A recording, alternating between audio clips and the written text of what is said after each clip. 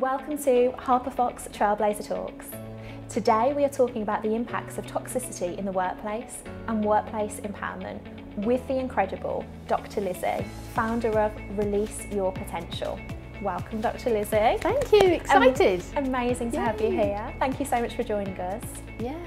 So, to kick off, can you tell us a little bit more about your journey and how you came to founder Release Your Potential? Yeah, thank you. Uh, yeah, so I, am going to go right back. I'm not going to have my whole life story, don't worry. We'll but actually, right back. but actually, I think it's really relevant. I was born um, at 28 weeks with a 5% chance of survival. Oh, right. And I think at that point, I decided I was going to be determined. And I think that's the only reason I'm saying that because it's it's been a pattern through my life of determination. So um, I was a nurse and a midwife and worked in the NHS, worked abroad in several countries in the Far East and the Middle East.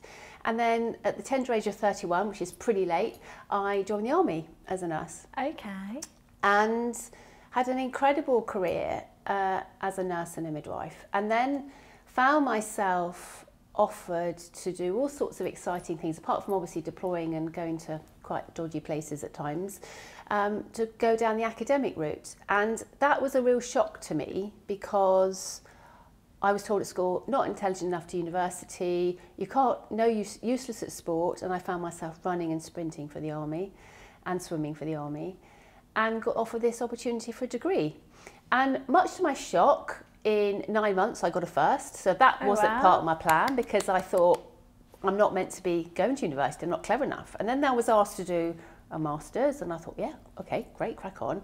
Two modules into my master's, I was told, actually, I think you should do your PhD. And I thought, what? So at the time, nurses were no nurses in the military were doing PhDs okay. because it was only doctors, and I thought that's unfair. We should all be doing it. So yes. I put up a case that nurses should do PhDs. I thought, actually, if you're going to put up a case and have some funding, I'll be the one. So, so I did that, and when I left, there were um, annually nurses were funded, so that was great. Wow. So the reason wow. I'm telling you that is that never ever believe what you're told. And actually, yep. I've always had that philosophy from that moment of determination. If somebody gives you a hurdle, just jump higher rather than let it stop you.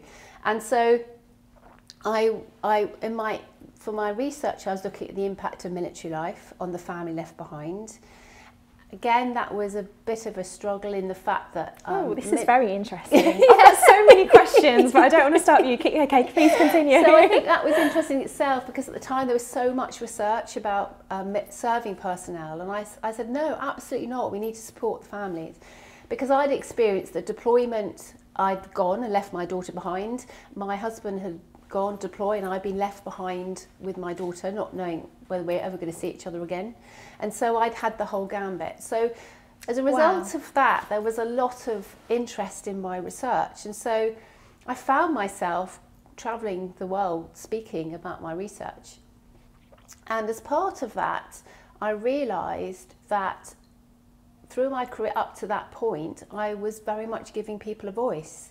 So I was giving people, obviously, earlier on in my career with nurse, as a nurse and a midwife, giving vulnerable yes. patients a voice. And then through my research, I was giving army families a voice. And then latterly, I was very privileged to find myself chair of nursing for an inter international committee of military medicine, global wow. with a global responsibility for nursing um, very much in terms of empowerment and resilience. And so while I was head of resilience research and wellbeing and passionate about that, I suddenly realised that all the conversations I had a lot through my career was actually coaching. Mm, and that's when the yes, kind of the penny and dropped. I thought, wow. And um, I can go into a bit about later on if you want me to, or now, whichever you prefer, about why why I set up my business. But I think when I left the army, I just thought it's just natural for me to be a coach and, uh, you know, carry on doing workshops in resilience and helping people be the best they can be. Okay, let me pause you there because yes. I want to I want to hear all about all about that. That's kind of the the, the key topic. Yeah. But I also would love to ask some questions just yes. about the journey that you described, if that's okay. Yes, of course. So, first of all, you talk about this piece of resilience. In your opinion, is that something that's cultivated through the things that we've maybe gone through, or is it a character trait that perhaps we are innately born with, Yeah. maybe prematurely or not? Is it a combination of the two? I'd really love to hear your opinion Yeah, on that. but I think it's very much a combination of the two. yeah, Yes. Now you have to have some determination. I mean, I've always had the philosophy that every challenge is a learning opportunity. So so much is to do, I like everything in life with mindset. mindset. Yeah. hundred percent. yeah, And I think this has been a really interesting time, um, obviously, of the trauma of the pandemic, yeah, is that somebody might lose their job. Now, one person can interpret that I've been made redundant, that's the end of my life. Somebody else might think, wow, this is a great Opportunity. opportunity. I've always wanted to set up a business, now's my time. yeah, So it, I talk a lot about switching thinking because Yes, how yes. you can how you can you can flip any thought Yeah. into empowering you or disempowering you. Mm, absolutely. And actually, it's quite easy to flip the thought. It's trying to continue with that is what can be very, very Yes. testing, even in that moment. So when we come back to resilience, I think it's interesting because most people talk about resilience as bouncing back. Okay. I always talk about bouncing forward Interesting. Okay. because you're never the same person yeah. as you are before the event. I agree with that, and I saw something the other day, and it really made me think. It resonated with me, and it talks. We talk so much about, for example, trauma um, Yeah. and the impacts that that has on the brain, And and, obviously, so kind of overused that word. absolutely, yeah, I, I agree with you. But then I saw something, and it talked about actually the the um, the positive impacts on the brain that healing has. So we focus so much sometimes on the impacts mm. that maybe you know a scenario you've been through and the resilience that you've needed to go through that. But actually, do we focus on what great impacts the healing can have Yeah. as well? Yeah, and our brain's incredible. Our brain, Absolutely. plasticity in the brain. And we Yeah. won't go too sciencey, but you know, our brain can change Yes. like it's motorways within the brain. Yes. So, and it's so much to do with our thinking. So, And it doesn't stop. Exactly, There is it no, never we used to think there was Never like an age limit. There is no, there is Thank no goodness for end. So, okay, we went down a slightly sciencey route. I'm going to pull it back and ask about. So, you were obviously a successful nurse and midwife in the NHS, Yep. and then you decided to join the army. Please tell me about that decision making process. Yes. Well, I think you know. I think every time I loved working abroad. I'd worked Yeah. in Hong Kong and the Middle East and so forth. Okay. And every time I came back to UK, it was like my career hadn't been um, progressed. It was there was no recognition of my work abroad. So, you always kind of went abroad and did work and then came back. No, I think I think um, uh, because I was in my, as I say, in my twenties, I had a couple of years abroad, came back to the NHS, or went out Oh, again and came back. Yeah. So yes, I, I just loved, I just loved being abroad. So it was a way of how can I progress in my career and still be abroad. The other issue, which was was massive for me at the time, I'm actually I'm eighth generation army, and so that Ah, had so you have had yes, however, yeah. so uh, but my parents put never never any pressure on me to join the army. In fact, they almost said, you know, don't. But anyway, so so they didn't put the pressure on me, but I suppose it was inbuilt in me that whole service thing. Uh, and the other thing at the time was, um, a- ironically, my parent, my mother particularly, put a lot of pressure on me to because she missed me when I was away. Yeah. And I was in this real conflict at the time because I didn't have all the awareness I have now of how can I keep my parents happy, this whole need for approval stuff Yes, going on, yes. as we well know about, but still live the life I wanted to live. And I thought, actually, the army's perfect because having been brought up in the army themselves and spent many years in the army, they knew that if you're posted somewhere, you have no choice. So I thought the fact I'm posted to Cyprus, I had no choice in that. They didn't have to know the fact that actually I put my posting requesting to go to Cyprus, which was slightly dishonest. But actually, and they were really excited because they got married in Cyprus. So it was all kind of like all full circle. So it just filled up. And actually, at the time when I joined the army in '93, it was an ama- amazing time of, of fun and enjoyment. We didn't have, you know, all the Balkans and the Afghanistan and Iraq. So it was it was an amazing time um, of fun. Incredible, incredible. Thank you for Yeah, sharing. And, yeah. and final question on this part of the journey, and then we will go on to, to release your potential and the um, and the coaching side of things. Yeah. So I've got so many questions around that.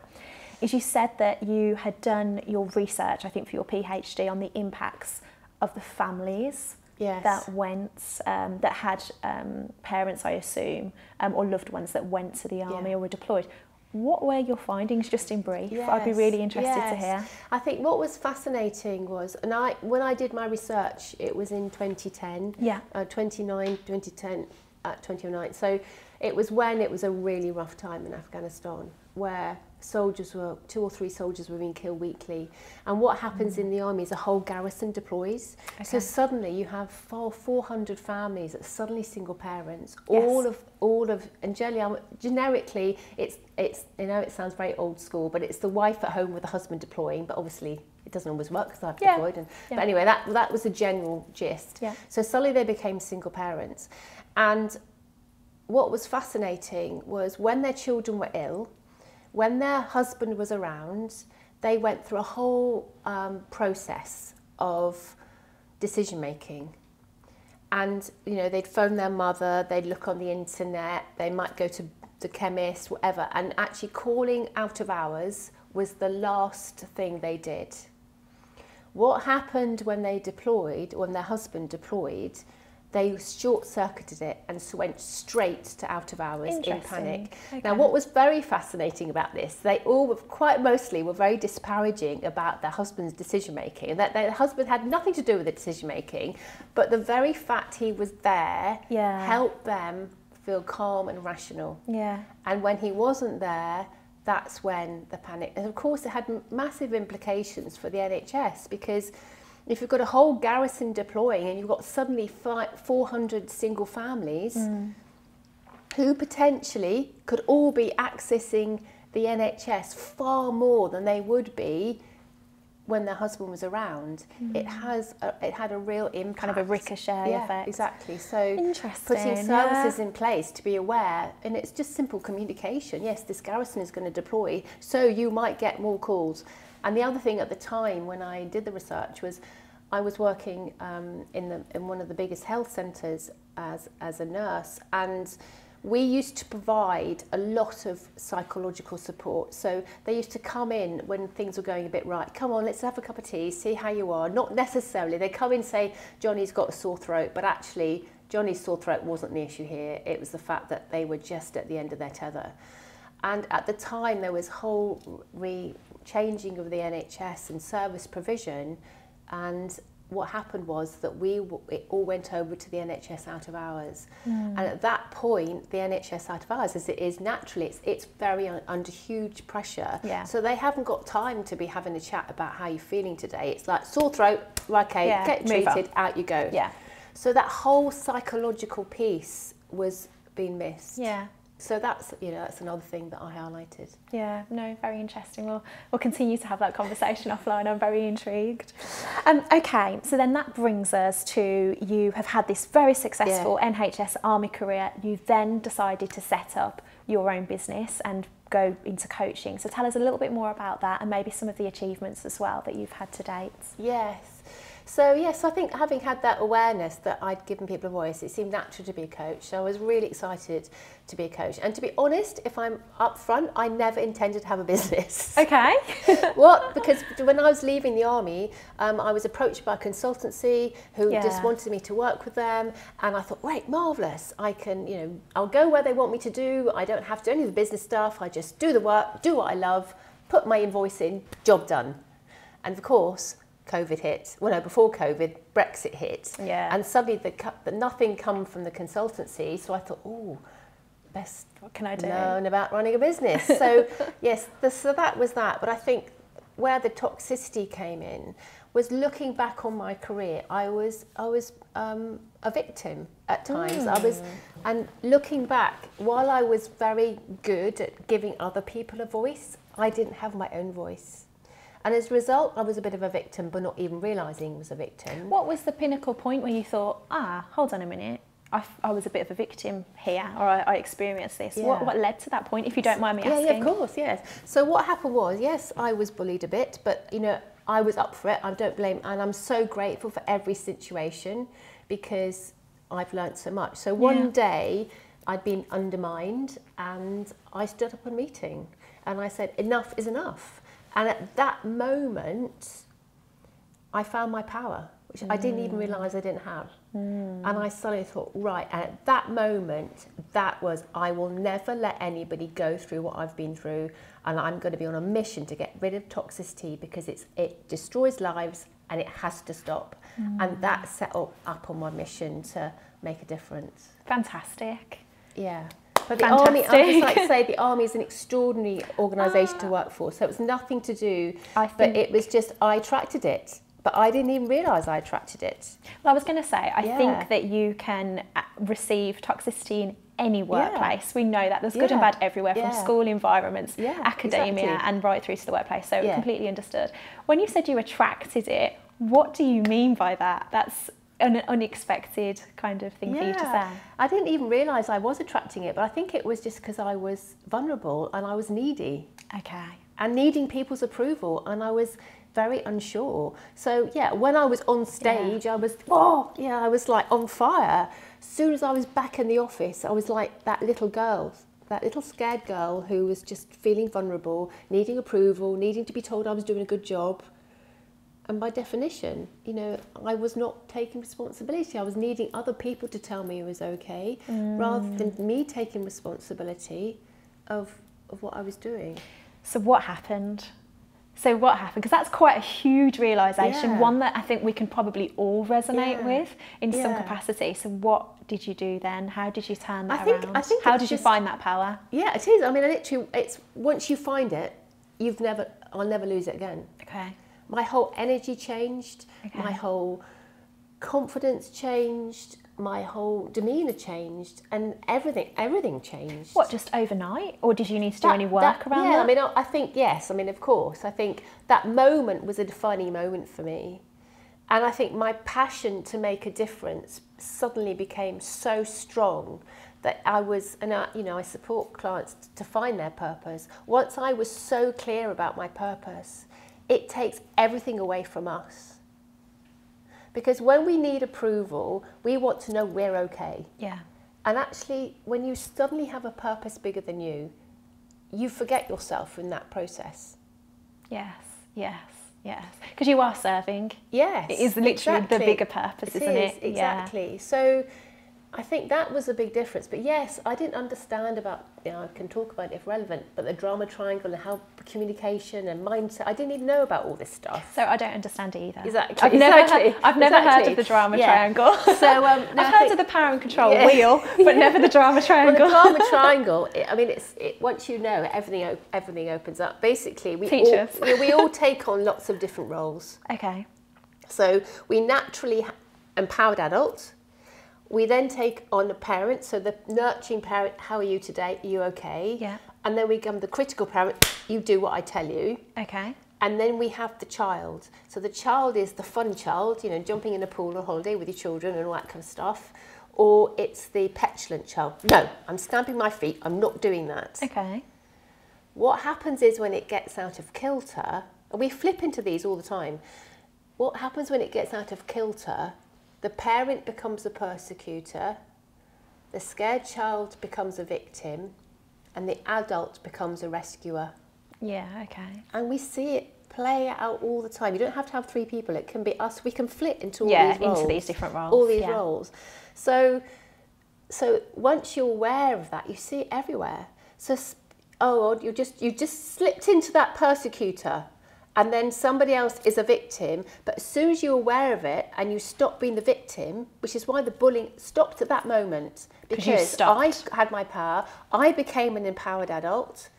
I was no longer a victim, and a, a mm. persecutor has to have a victim to take do their mm. stuff. Mm. Very, very, very true. So it's having that Yeah. awareness. Think, oh, I'm going down to that victim mode, or oh god, that's a bit persecuting. And and and re- rescuing is where you want to die. And there's a difference between helping, which of course we all want to do, to disempowering that person by taking over.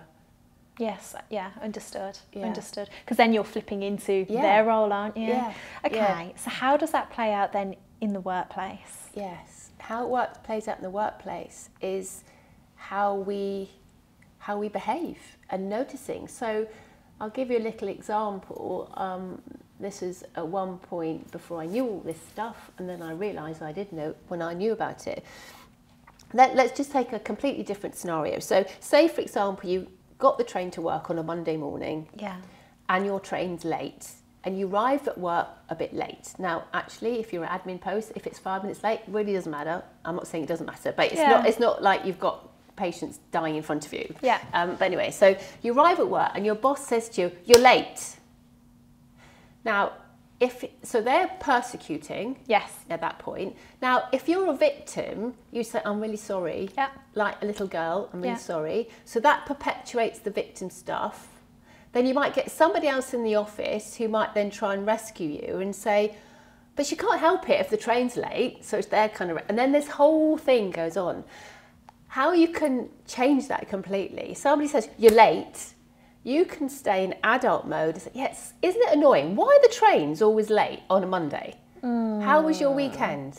Hmm. But I'll be honest, if that was one of my team or I was going to a client meeting and somebody did that, I would think, oh, you're quite rude because you've not acknowledged that you've you are late.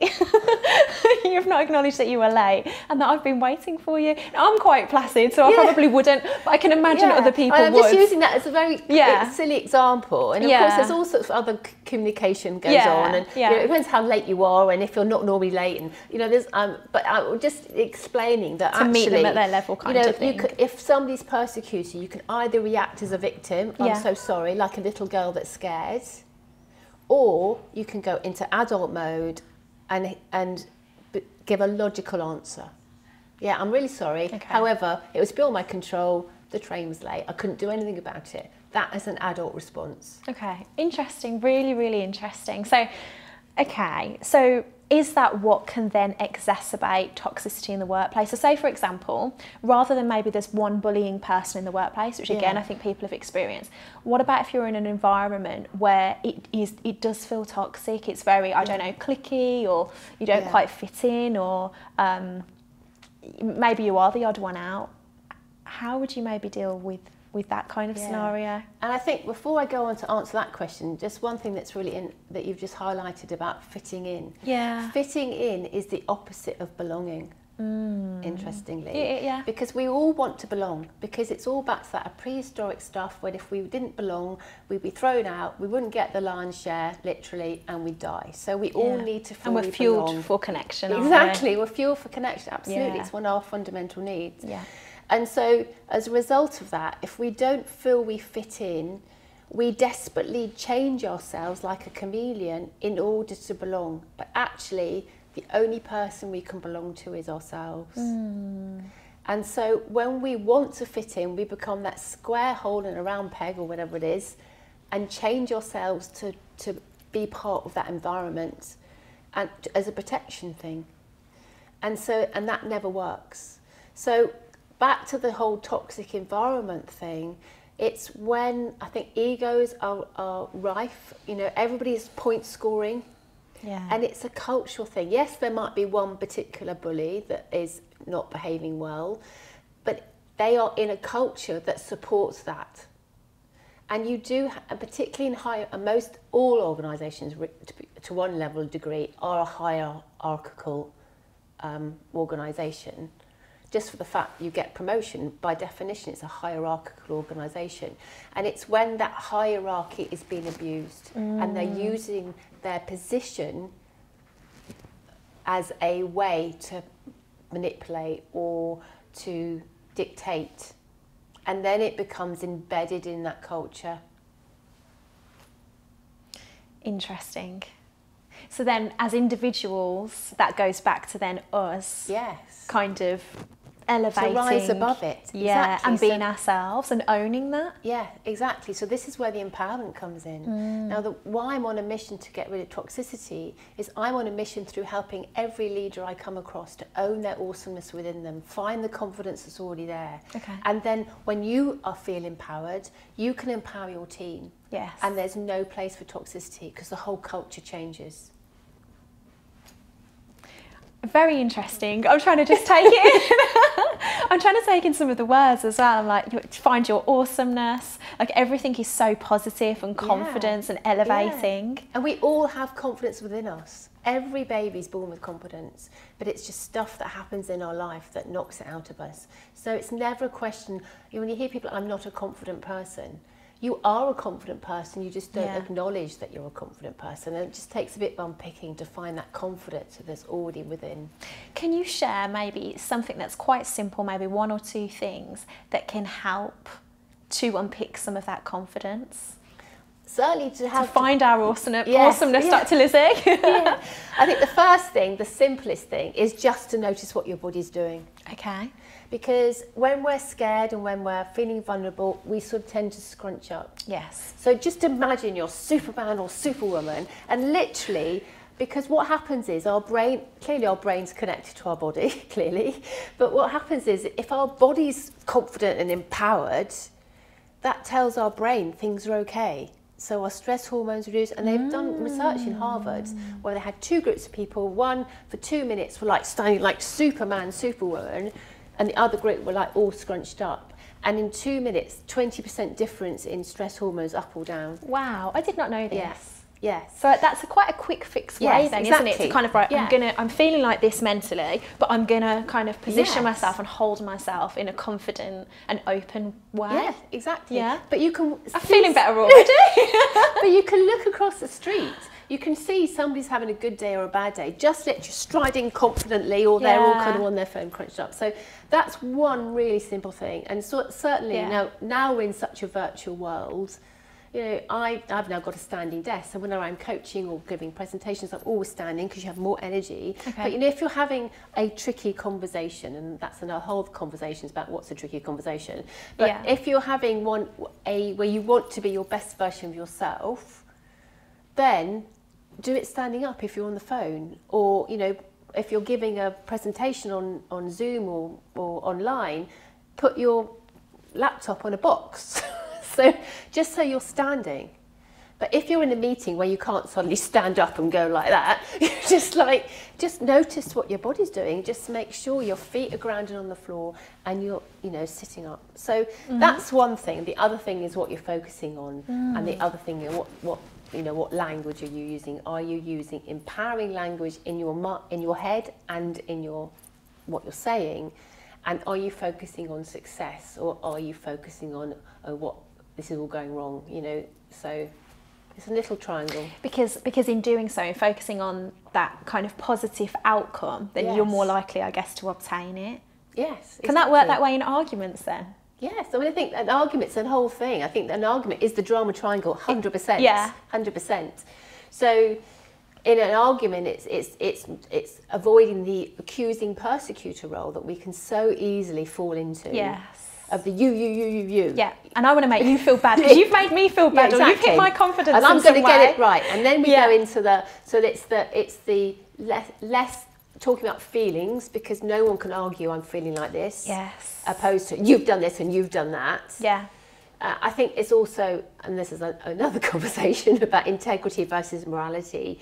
Integrity going into conversation that you want the best outcome and not prove that I'm right or you're wrong. Yes, and that actually we're, we're kind of, it, we're both here to resolve this problem. Yes. We're not against each yes. other. So you take the person, and it's so difficult, and this is, yeah. this is uh, practice. I think when it's emotions involved, yeah, exactly. it is, isn't it? Yeah. It is, it, it's load, you know, lots of practice and lots of unpicking and things, but it's, it's what is the outcome of this conversation that we both want to almost like an agenda for a meeting but i know in a conversation when you might be in the kitchen and you're having a big slanging match it's it's more difficult but it's it's having that aware whoa whoa. And at home we actually say oh drama drama triangle alert. Stop regroup. But it's all a bit of a joke but it's getting out of that. And this is where the drama triangle and the awareness is so important because it shows up everywhere. Open, emptying the dishwasher to like somebody asking you emailing you at work with something you know?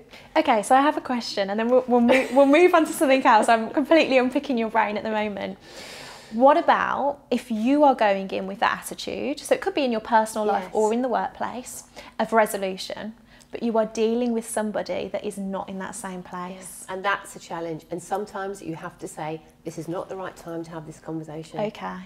So it might be a case of let's Yeah. halt, let's come back and Yes. reflect, or go, go and reflect, and now let's come back together and try and have this as a positive discussion. Because communicating with someone that is angry will never work. Yeah. Because they're in so much in their heads, for all may probably good reasons, you'll never have a proper conversation. Okay. So it's best to be assertive and say, look, just not the right time right now. And we move on. Okay, incredible. Well, thank you so much. That was extremely helpful. I feel like it's a um, coaching and a therapy session at the same time. I'm feeling very empowered. Um, tell me maybe about a couple of sacrifices that you've had along the way. Yeah, I think the I think the biggest one probably was stepping off the tarmac when I went to Afghanistan, Wow. not knowing if I was ever going to see my daughter again. Wow. That was Huge. that was probably I mean, that is unbelievable actually yeah. when you think about that. And I think there was an interesting moment. I thought at that moment, literally physically standing on the tarmac, I'll never forget it, with a, the long line of us all in our military uniform to get on the plane. And I had that real thinking, oh my goodness, am I being an irresponsible mother here? But yet I knew I had to go. I knew I was running, um, managing a team. I had a big responsibility to do out there to support all the military personnel out there. And it was never a question that I would not go. How could I not? What sort of leader would that be when potentially, if I didn't go, somebody else could go in my place and be killed? So Yeah. it was never a question of not going, but I, I did have that moment. And I think the other thing actually, it's interesting when you deploy, you have to write your wills. I wrote all my letters in case, in case I had a letter in my, and I, I think uh, she's still, my daughter's still got it actually, but she's never opened it. But a letter in case I never return. So you have a sort of all this stuff to do before you deploy. and are in these case things you that you are that they that the army, for example, would suggest that you do? You, you have to. Well, you, don't, you always don't have to write a letter. They don't say, but uh, they, they encourage you to write a letter. Yeah, of course, But yeah. When I'd written all those letters, you know, to my husband and daughter and family and all that kind of stuff, it was a real kind of relief actually to Mm. think, okay, well, I've done my bit. Um, I put everything in and place you have that to, you have to have a will before you deploy. You have to have a will. You cannot deploy without a will for all these various reasons.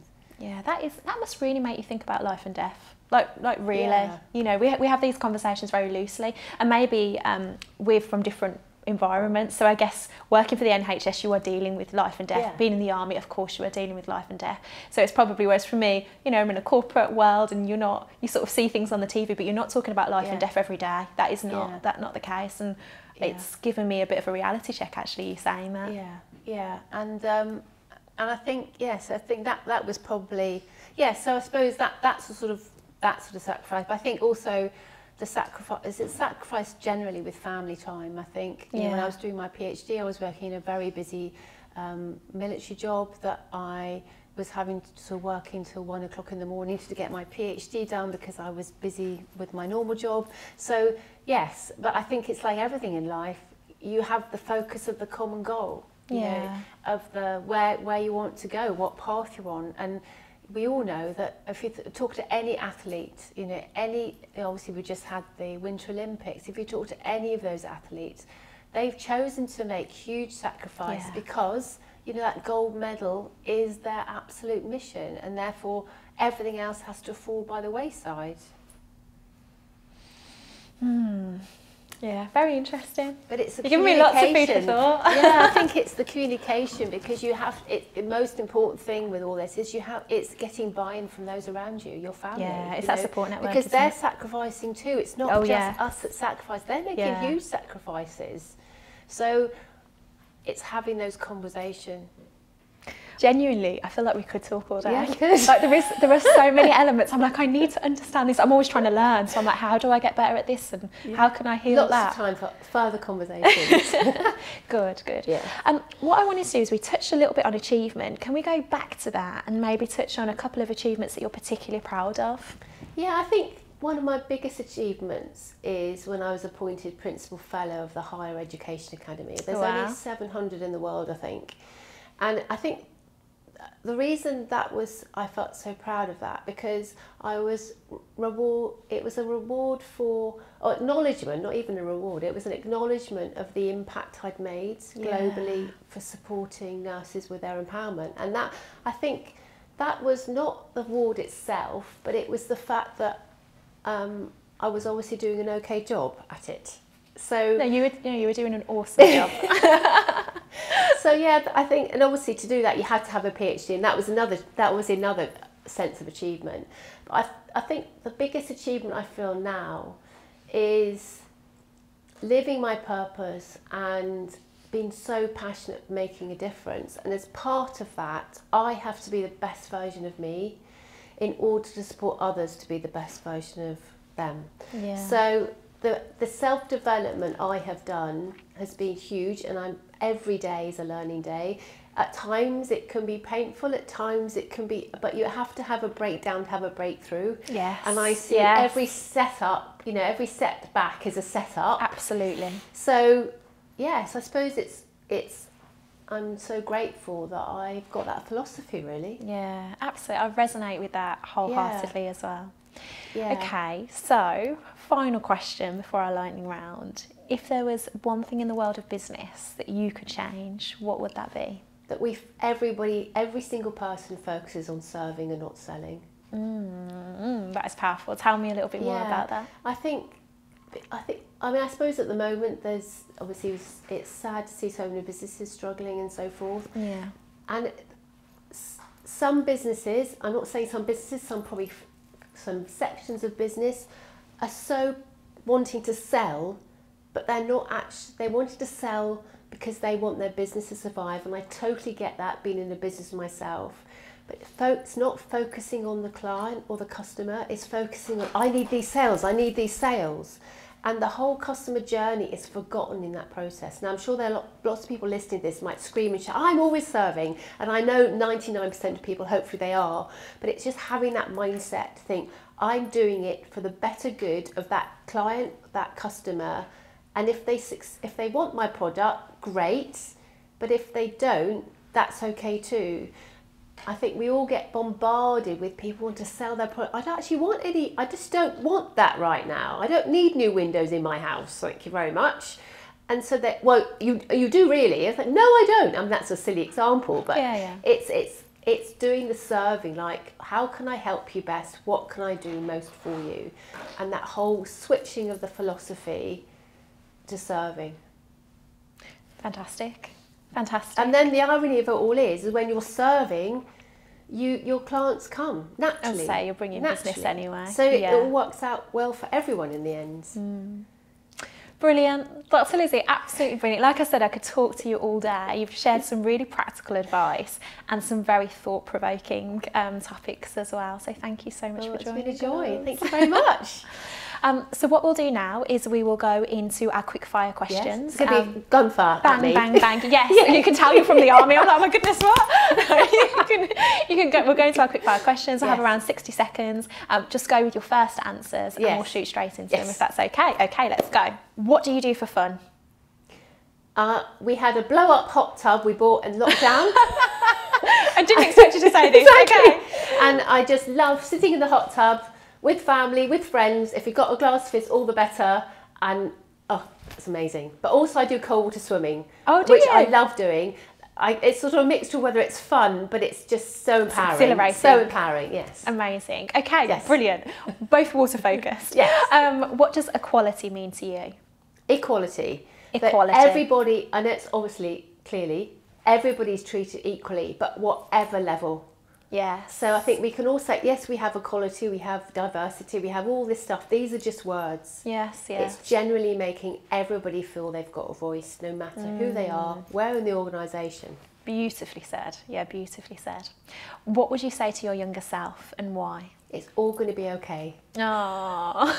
But you know, when things don't go well, the learning you get is amazing. So trust, trust, trust, trust. It's all going to work out as it's meant to be. and trust that process. Yes. And who inspires you and why? Huge number. I could there could be hours on this. I think for me, one person that really inspires me, other than the usual Brené Browns and all the Yes. wonderful people like that, Joe Wicks. Oh, interesting. Yes. Okay. And, I've why? met him. Have you? He's awesome. So Joe Wicks, simply because he was 100% serving. Yes. You know, he he started off by going into the local park, offering his classes for free. Two people turned up, and he was determined that no matter what, he would make a difference. And look at him now. Look what he did in lockdown with his free Yeah. PE sessions. So that is the ultimate of serving, of wanting to make a difference, changing people's view of exercise, realizing you don't need any equipment, you don't have to join a fancy gym. Just do it. Just do it. Incredible. Incredible. And what makes an exceptional leader? I think when you when you believe in your team more than they believe in themselves, Yes. when you've got integrity in every bone of your body, Yeah. courage to be vulnerable, Yes. and leading from the front, behind, up, down. in every way, in every Exactly. capacity. Yeah. Fabulous. What does sustainability mean to you? We all know obviously about the sustainability as in the environment. I think for me it means leaving the world better than you arrived in it. Yes. But on every level, in the fact that sustainable, you know, I'm I am my own business. If I don't look after myself and I fall mm. down, I'm not sustainable. And so a really nice sustainability in sustainability in you know if you've got a team, what can you do to support your team so they stay there? You know what can you do about retention? So sustainability in personality, health, well-being, not just you know recycling and all that kind of stuff. That's excellent. Really nice, really nice take on it. And final point for you, Dr. Lizzy, tell us an inspiring word or motivational phrase. Yeah, I think we've already covered it, but for me, it's we are all awesome. We have everything within us. Nothing needs to be fixed. Nothing's broken. Just needs a conversation to find it. Brilliant. Thank you so much. Really, really, Well, really thank you. good. It's been a joy. No, it has. a joy. Yeah, it has. It's been. I can feel the motivational, awesome energy exuding from you, and um, and yeah, there's like I say, there's been some really thought-provoking things that you've touched on as well. So Yeah. yeah, thank you, thank you so much. Thank you. yeah, really good.